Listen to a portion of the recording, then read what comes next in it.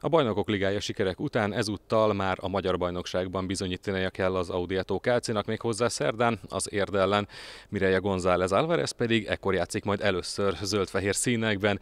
Mireia, first of all, you are going to play again. Az első mérkőzésedre készülsz az Audi arénában, ráadásul éppen az érd ellen lépsz majd pályára. Mit jelent ez számodra?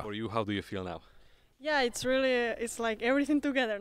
Igen, most valóban minden egyszerre történik, hiszen a korábbi csapatom ellen mutatkozom be Győrben. Izgatott is vagyok emiatt, hiszen sok barátom van érdem, viszont alig várom már, hogy az arénában játszhassak. Az elmúlt időszakban jó néhány meccset láttam itt, igaz, még csak kívülről. Persze ellenfélként is jártam már itt, de azért most biztosan más lesz minden. all people around. Különleges a helyzet, hiszen érdről jöttél, ahogy említetted, a korábbi csapattársaid ellen lépsz pályára. Milyen érzések vannak benned ezzel kapcsolatban? Uh,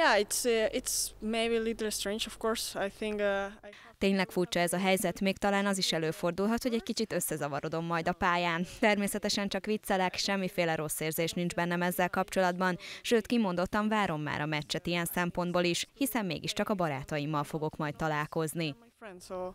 Uh, some so it's okay.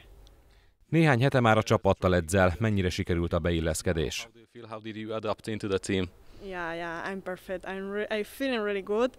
Nagyon jól, sőt remekül érzem magamat itt, élvezem az edzéseket, és alig várom már, hogy élesben is pályára léphessek, mert úgy érzem, hogy elég jól begyakoroltam a szükséges elemeket, és szeretném már kipróbálni ezeket meccsen is.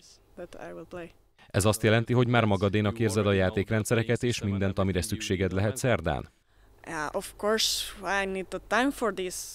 Ehhez nyilván kellett egy kis idő, de ez az első hónap jól sikerült. Persze ez egy folyamat, és úgy érzem, hogy napról napra többet tudok hozzátenni a csapat játékához. Ahhoz, hogy mindent megtanuljak, még kelleni fog valamennyi idő, de boldog vagyok, hogy már most ennyi mindent meg tudtam tanulni. Everything, but I'm really happy with the work till now.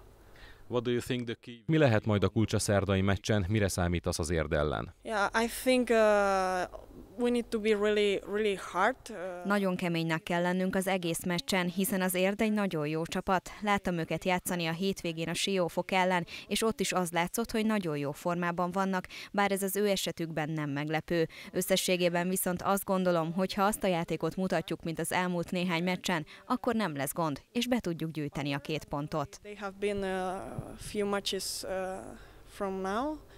The last few matches, it will be it will be good.